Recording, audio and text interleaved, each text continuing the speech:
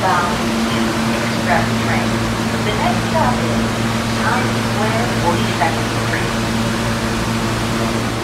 Close the doors, please.